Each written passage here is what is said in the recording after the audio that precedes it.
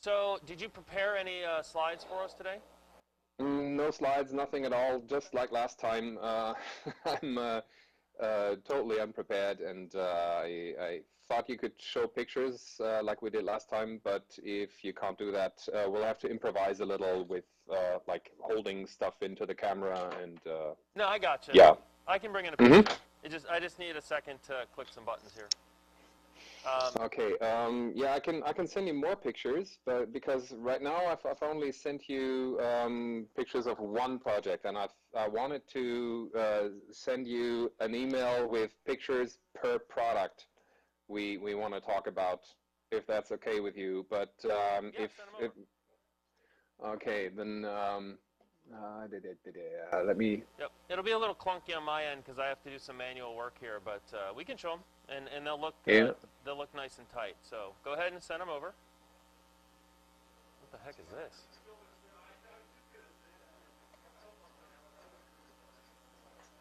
Okay. Sorry, everyone. The, for the folks on, on YouTube and, and in the room, I'm looking at the pictures. I don't even know what this is. Like, I mean, I. I, I uh, we'll, we'll, talk about that. so I guess we're all going to learn about this uh, at the same time here. Um, so Jens, uh, uh, I know it's been a year since we we uh, spoke last. Um, do you want to just give like a, a five-minute update on sort of what's been happening on your side? I know, uh, you know, we talked about the floods uh, being an impact. You know, obviously as a component supplier or, or, or finished product supplier, you're dealing with a pandemic and all of the uh, supply chain challenges. So I can imagine it's been a pretty rough year from uh, where you're coming from. It was, yeah. Um, uh, I, I don't even know where to start because uh, um, you, you've had me um, send pictures and stuff. I, are we live yet? What's that? Uh, we're live yet? yeah, we're live. We've been live the whole time. Oh, okay. Good. Um, yeah, uh, one year. Um, component shortage was was actually a topic just after we uh, we talked last time um, because uh, I started developing the ACA 1234 and um, I've made it a habit of um, um, buying the components whenever or at least checking availability uh, of the components when I design them in because um, yeah, if, if you design them in and maybe even have samples at home uh, and, and you can build a prototype, uh, it's going to be kind of boring if you assemble without components uh, for mass production. So yeah, um, uh, I, I, talked to the uh, to the distributor and um, they said, oh, yeah, yeah, these are available. Uh, we can ship in February. And I was like, okay, that's a bit long. What's happening here? It's like, uh, and um, yeah, um,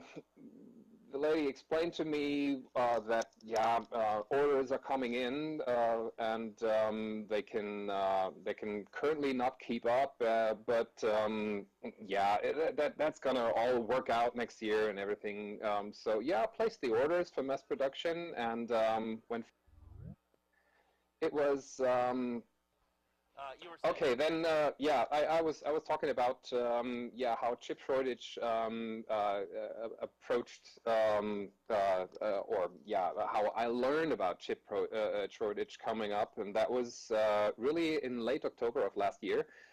when I started designing the 1234, let me try to hold this in the camera. Yeah. Maybe you can yeah, that see that. Great. Okay. Yep. CF okay. Slot, um, FPGA slot. 030 slot. Mm. Okay, and um, yeah, when when I started buying components, uh, it was like yeah, delivery time a little over four months, and um, I was really surprised um, to uh, to get that kind of uh, delivery dates.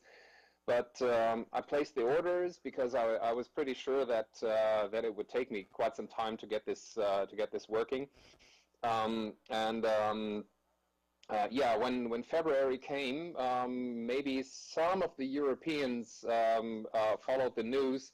Um, uh, I, uh, I still didn't get my, my components in time because um, there was a ship in the, uh, in the Suez Canal um, that, uh, that blocked every, that, that blocked, I don't know, hundreds of other ships. and lots and lots of goods, including semiconductors, didn't reach Europe. And um, so uh, that was um, another holdup. Um, I think that delayed it by three weeks or so. And um, um, but then uh, some other components that were actually confirmed um, for uh, uh, for other dates, they were just not available. And I we we didn't get any uh, any updates uh, un until the um, the confirmed delivery dates really um, uh, really came and went. And then the distributors said, "Yeah, we couldn't, couldn't get the components. Currently, don't have any." um, uh, any dates and so on. And since I haven't um, ordered the PCBs at that time, um, I did a few last minute changes. So I, I changed the microcontroller.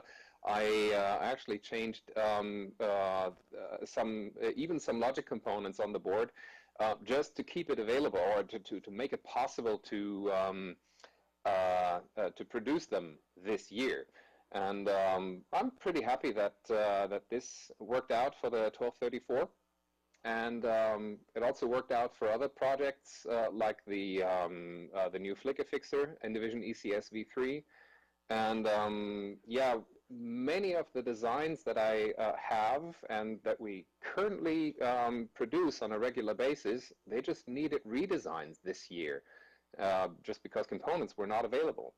And that is um, that was extremely time consuming and um, yeah um, it's it's not only chips um, maybe you can bring up uh, uh, one of the pictures that I've sent you um, let's uh, um, go for a project that maybe only a few have heard about yet uh, that is this uh, CF card adapter uh, I'll hold it into the camera so you can maybe, do you see that? Uh, yeah, we can see it. Okay. Um, maybe you can um, uh, bring up uh, the pictures that I have sent you uh, in an earlier email. Um, I don't see anything. There's a huge lag on the. Um, uh, no, actually, I haven't sent you the the CF cards. yeah, CF card CF pictures. CF pictures. Oh, that, that's 23 megabytes. I hope your inbox won't explode. Yeah, we'll see if that works. So what is uh, what's special about the CF adapter? Um, we started developing this uh, a few months back when um, a few um, yeah, I, I, I, I, might have to start somewhere else. When when I announced the uh, the, the 1234 with the CF card slot, with the local CF card slot that uh, that really has impressive performance. Um, uh, some some people were saying, "Ah, great! I'm going to replace my 1233N," and um, I was like, "Okay, no, I, I, I don't want that um, because the uh, the supply of, of chips, um, especially 68030 CPUs, is so tight that uh, it's, uh, it, it, doesn't really make sense uh, for anyone who already has an 030 accelerator to buy yet another one. So we started uh, um, requesting from these people, well, why do you think of switching? Because the 1233N has the IDE speeder that, uh, that should give you sufficient speed, and um, they came back with, yeah, well, uh, it's got nice speed, but I get read-write errors all the time. And um, uh, apparently um, nobody really uh, reported this, and we um, we started getting into the, uh, the, the details of the problem.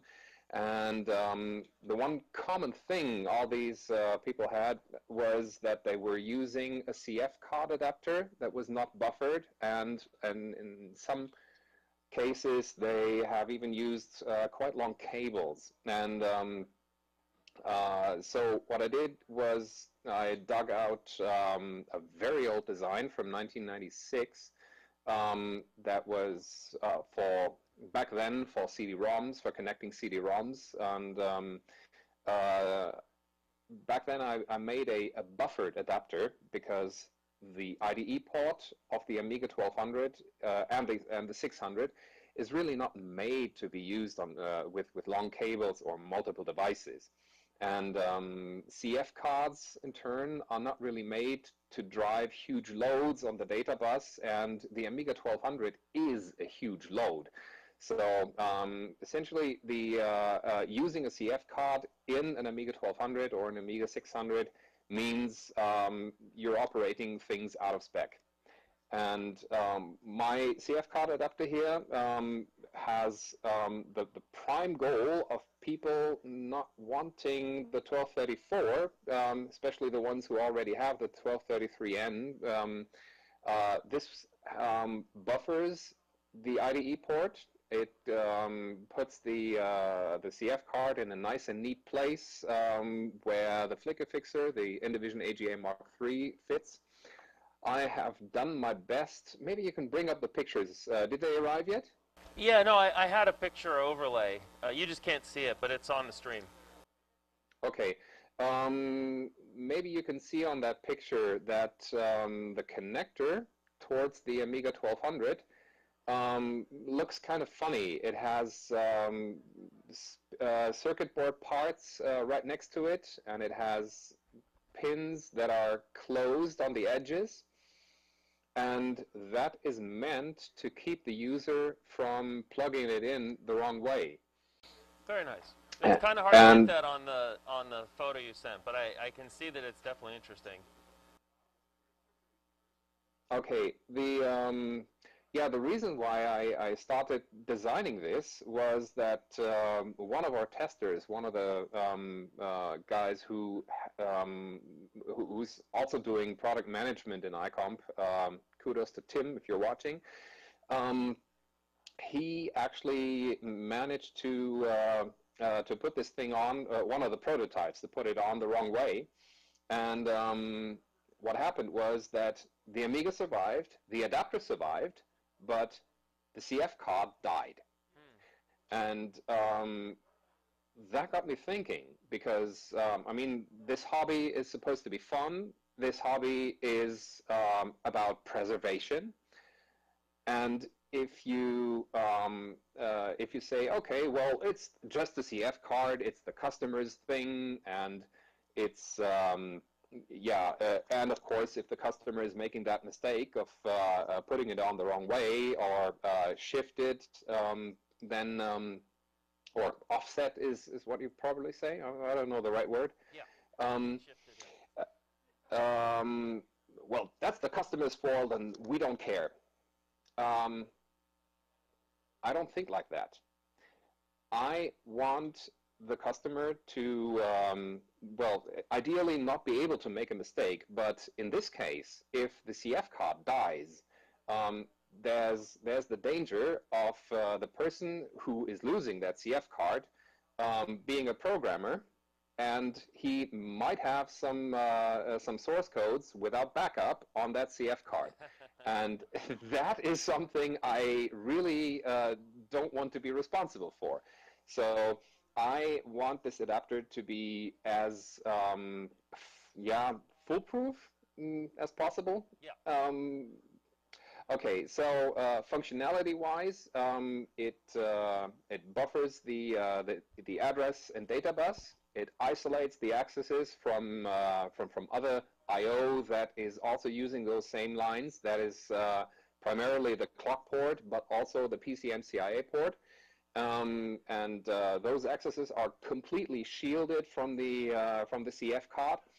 And the um, the final thing we did is um, uh, look at the LED of the Amiga 1200, the activity LED, because some CF cards have this uh, this property that um, uh, the uh, the activity LED is always on, yeah. and during activity it, it only changes brightness and that's just not nice. And uh, I decided, okay, if, if, I wanted to want to make something really good, then uh, it also needs to fix that uh, that activity LED, and um, that's what the adapter does. I'm trying to show it here because, uh, yeah.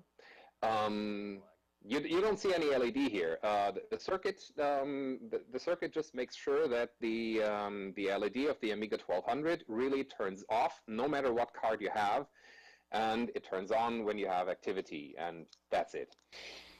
So I want so, to ask about um, the what looks like a double-sided adapter. I think this is your new a new product that you're announcing or something. It's the uh, the file that ends in 23 JPEG. I have it on the screen here so everyone else can see it. Okay, I'll, I'll have to, uh, the file that ends in 23, let me bring that up on my screen. Um, 23.jpg, whatever that is. yeah, uh, maybe you, uh, you switch to the next one, to the 24, because that shows the, um, uh, the predecessor, the proof of concept. Um, do you have it on screen now? Yeah.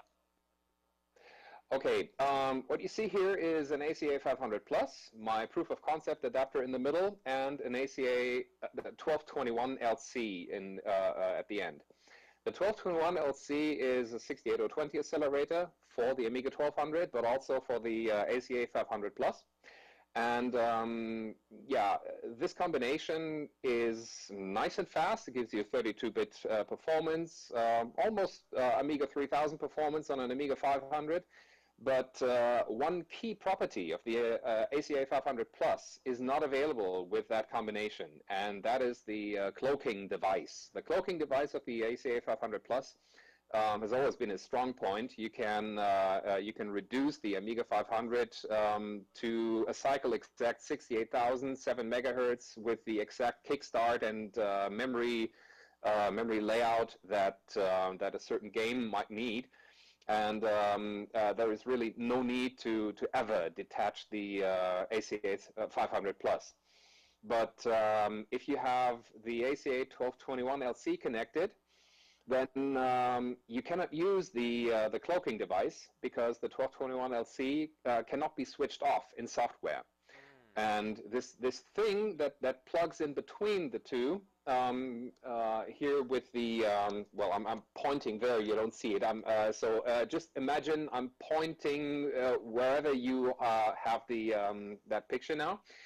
Um, that green PCB with the switch, um, that's really uh, just a uh, proof of concept. I wanted to make sure that uh, my idea of switching off the 1221 LC is working.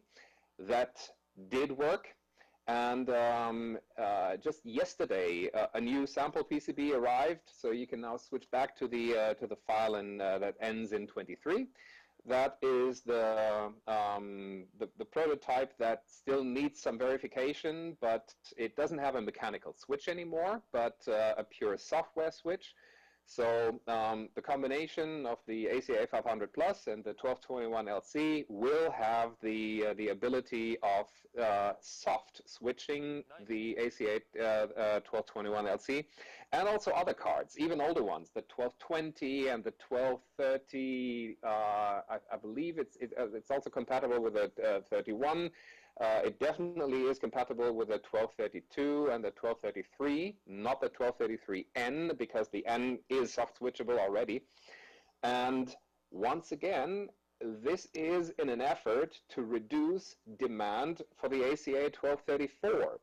And uh, really, um, because uh, you have to build products to reduce demand for a new product you have coming out because of the chip situation yeah, there's really too many people who said, yeah, I have an, an, accelerator already, but I want that new one. And I always had in the back of my head, uh, we don't have that many. I mean, CPUs are limited, chips are li uh, limited, and um, yeah, um, I, I would much rather um, have more people in in the hobby uh, uh rather than uh, just a few. But everyone has like three or four accelerators at home. Um, so uh, I really want to make sure that um, that enough people um, can get um, an accelerator, and of um, of course, uh, yeah, if you're really looking for that tiny feature, uh, that that soft switch off, then uh, I would really prefer selling uh, a cheap adapter rather than an expensive accelerator that might be uh, missing in the market for others uh, who might be returning to the uh, Amiga 1200 after so and so many years. Because, um, I mean, like I said, this is about preservation, and not everyone who has been creative on the Amiga um, has returned yet and has um, uh, put his uh, his creations, be it software or uh, be it um, music or graphics or whatever. Um, I'm, I'm, sure there is so much out there that uh, still uh, should be preserved, should be uploaded into uh, yeah AmiNet or um, other archives. Um, we uh, we should keep some hardware available for them, and um, I mean uh, I'm really not into this for the money. Um, making money with the Amiga is, is really not possible anymore. Um, so I'd much much rather uh, sell these uh, these accelerators to people who really need them and um, not just want them because yeah, well, it's a little bit better than what I already have. I uh, I'd, I'd, really prefer if uh, people um, are satisfied with what they already have, and um, yeah, just adding one little feature um, that might might do the trick for them and saves them money. That's great. So. Um, I want to ask a, a, couple of questions. One of the questions is around uh, 040, 060 accelerators uh, that came by on YouTube. Do you have any comments on those? I, I can't even recall if you've announced those products or yeah, I, I did announce them um, actually a few years ago, and uh, it turned out to be really complex. So I have uh, I have put uh, Peter Wendrich um, on on logic development. We do have prototypes running, but um, yeah, Peter um, is on sick leave since summer of this year, since June uh, of this year, and uh, he is he is making a good recovery. He is working a few hours per week again and um, I'm I'm hoping that uh, he'll be back on the ACA 1240, 1260 um, uh, either later this month or next month. So um, that project is not forgotten. I uh, I mean, then the, the, the scary situation here is I have all the chips in stock, but the development is not yet done, so I can't start production. I see. Um, yeah, but uh, like I said, this is uh, this is not forgotten, and um, yeah, if, if you're really looking for more performance, then uh, uh don't buy the 1234. Leave the 1234 for those who, who really need it, um, and uh, yeah, wait for the 1240, 1260. Got it. So um, the other thing I wanted to ask you, if you could just briefly talk about the work that you've done on your newer cards, like the 1234, to accelerate the or sorry, the, the uh, N version accelerates IDE I/O. Uh, Correct. The, the, LCL. What did you do there to achieve that? Um, this is actually something that I have tried on my very, very first accelerator, the ACA 1230, uh, the synchronous one.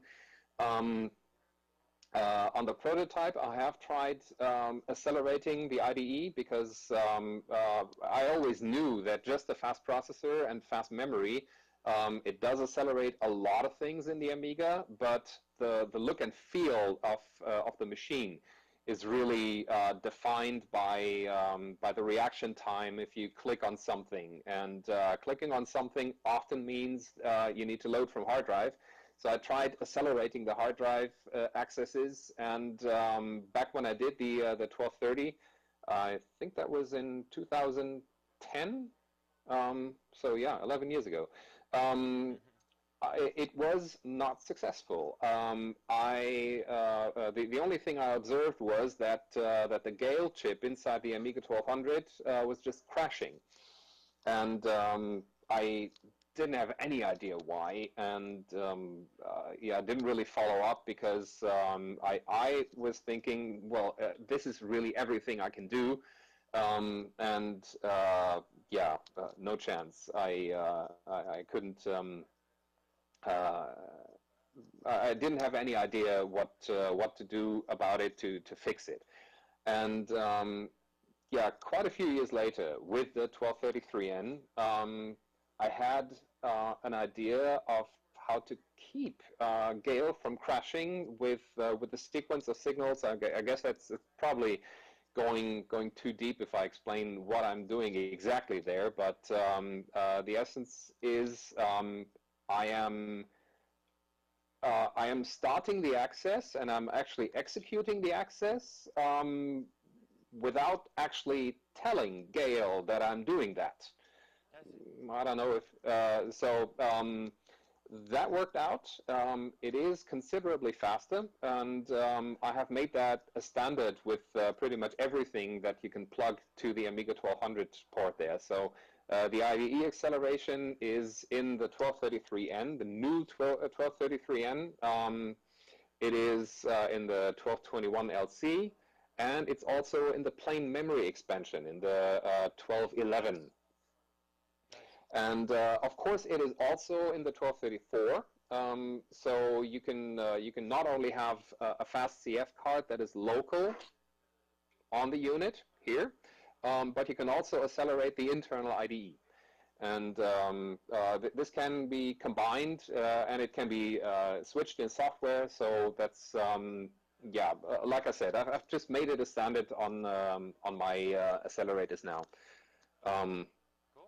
I wouldn't really call it magic, but uh, yeah, if it feels like that, I mean, if it, yeah, you know what they say about technology that's sufficiently sophisticated. no, we'll, we'll call it magic for now. It's fantastic. Um, and then uh, we're going to wrap up here in a few minutes. So uh, I did want to ask if you had an update on the Buster 12 project that you announced last year.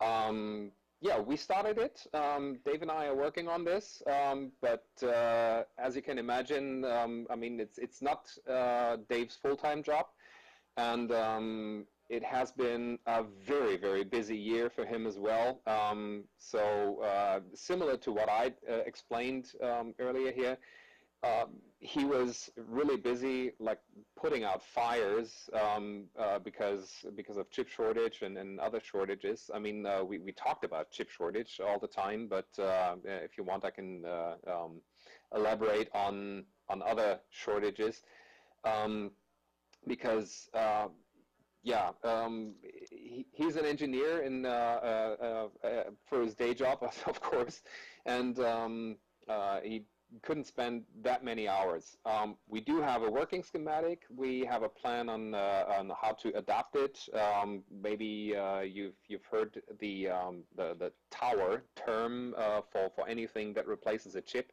Nice. So that that's going to be uh, the form factor.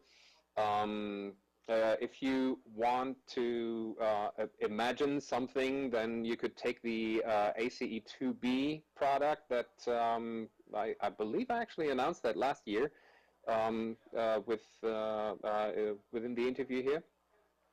So that's about this, the way that it's going to look. Um, I don't have anything to show today, unfortunately, but um, yeah, it's it's an ongoing project, not forgotten, and um, yeah, uh, like with so many things, COVID related and and shortage related, um, but uh, it, it's going to work. One quote uh, that I would like to to share with uh, from Dave is like, yeah, um, when he started on it, he said, yeah, I know why nobody has done it yet. It's not trivial. there you go. Well, I know that um, it'll be it'll lovely to see, especially as we've got all the uh, re-Amiga technologies and, and just opens up more possibilities and improvements for uh, you know building the hardware and, and making the systems even more stable, which is absolutely amazing. Well, uh, anything else you wanna you wanna part with? I, I don't know if there's any questions here in the room. I'm looking around.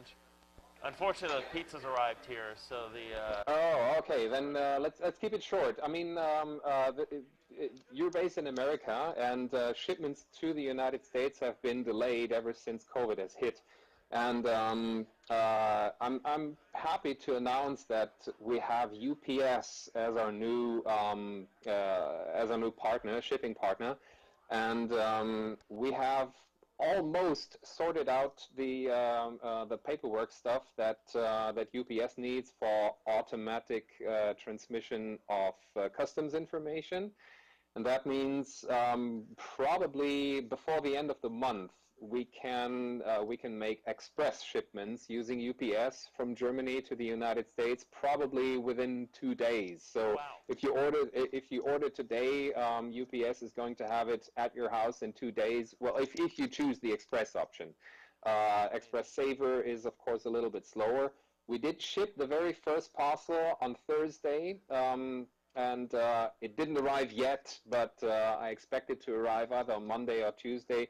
So um, with that Express Saver option, um, I'm expecting that uh, the, the whole shopping experience, especially for US-based and, and, Canadian customers, is going to be a lot better because uh, all the shipping partners that we had in the meantime, uh, they were all pretty slow on their end and then handing it over to USPS in the United States.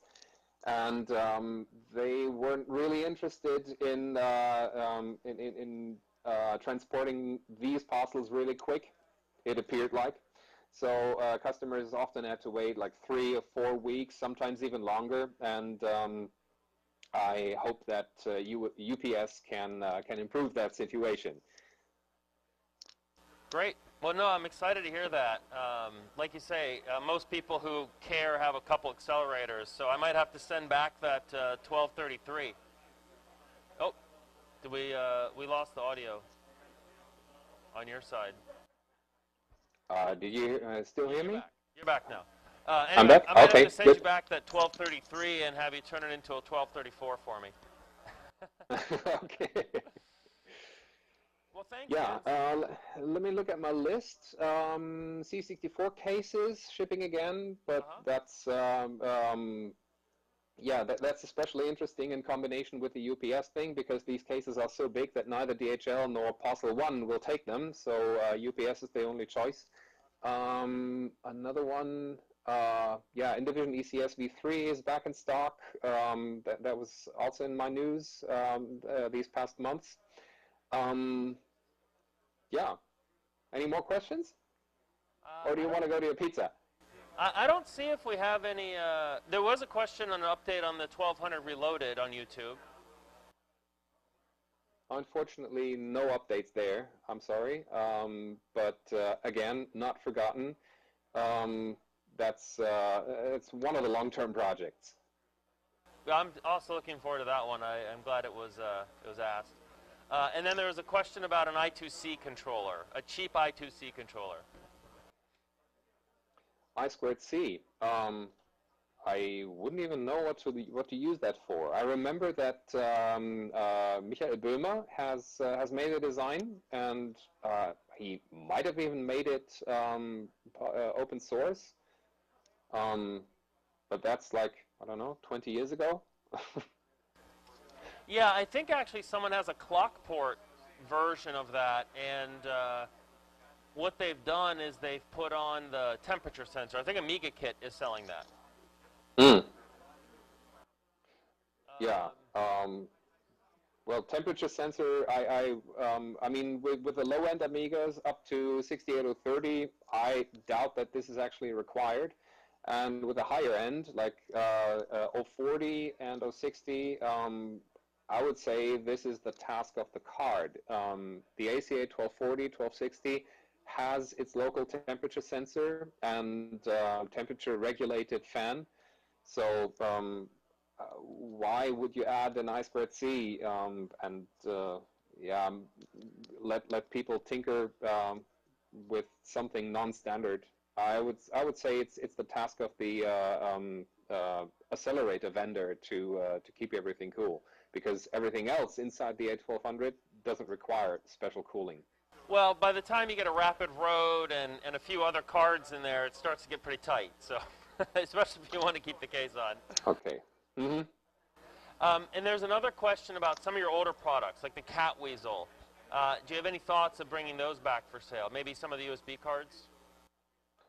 Um, I get that question quite a lot, but I uh, I don't have the time. Um, the uh, um, I, I wouldn't uh, I wouldn't make this a USB thing because uh, the whole reason why the Catweasel Mark IV is not available anymore, why I stopped making that, was that uh, making 64-bit Windows drivers was next to impossible. We even had support from companies that had uh, full Microsoft support, and even they couldn't help us uh, compile uh, the drivers that we made for 32-bit um, uh, for the 64-bit uh, versions of the uh, of, of, Windows. And um, uh, we would have the same problem if I switched to USB. so um, I would rather choose a different um, interface that would be network and um, uh, make it uh, more like a standalone device. Um, I have a pretty elaborate concept for that already, but uh, yeah, uh, once again, time is uh, is my biggest problem, and um, I couldn't even say when I can start this uh, this project. Um, if you have any floppies, um, keep them in a safe place, dry, not too cold, not too warm, just room temperature, and um, yeah, maybe, uh, uh, well, one thing I, I, actually thought about was um, to, to bring the Catweasel for the Amiga back. Um, but uh, again, that's, that's also something I've only thought about, haven't, uh, haven't really made plans. Um, so yeah, can't, I, I can't promise too much here. Cool. Um, one last question, uh, just looking at the, the list here. Um, Cami was asking about uh, the USB. So just for, for everyone, I know the Rapid Roads are still available, and so is the Xsurf 100, correct? So you can buy a USB yes. card. It has Ethernet built in, effectively, or depending how you look at it, Ethernet with USB or USB with Ethernet, but it is available still from your site, right? Correct, yes. Um, one thing I did earlier this year was I have quit making the clockport version of Rapid Road because um, the amount of returns I got has crossed the magic 6% barrier. And um, I was just fed up uh, with, uh, with having to tell people uh, either, yeah, you, you connected it the wrong way around or you shifted the connector or you didn't connect the uh, the grounding cable and, and all that kind of stuff. So there, there's just a huge number of reasons why uh, the USB version of Rapid Road um, uh, broke uh, for many people. Um, of course, uh, for more people, um, uh, the, the amount of service work we had to do on um, on Rapid Road, especially the the clockport version, was just in. I just decided I, I I, I shouldn't do this anymore because um, uh, some customers um, will just never accept that they made a mistake. And um, I, I, even got answers like, yeah, but I want my plexiglass case and it's going to look ugly if I add the shielding. And um, if, I, uh, if I need to tell these people, yeah, if, if you don't use the shielding, I mean, it, it has an electrical function. If you remove it, then the whole system becomes unstable and um, if, if I only get answers like, yeah, but it works, then yeah, I, I really don't want to discuss this. Um, so I decided not to make any clockport device um, for the Amiga anymore. And this unfortunately includes USB, the Rapid Road. But I do have another idea um, of how to bring USB to the Amiga 1200, which I will most likely uh, start next year, early next year. So next time we talk, I am uh, uh, so for, for next Amiwest, I'm, uh, I, I'm, I'm I have very high hopes of uh, showing you a prototype or even um, showing you final specs. Cool. Well, definitely. I'd imagine the 1235 with USB ports is not what you're talking about no, no, no, no, no, no, no. Uh, USB USB is going to be separate uh, from from the accelerator because um, it is useful for everyone with every speed. Um, so I, uh, uh I, I wouldn't want to um, uh, to put that into an accelerator. Cool. Well, thank you, Jens. Appreciate your time today. Uh, I know it's late. Thanks there. for having me.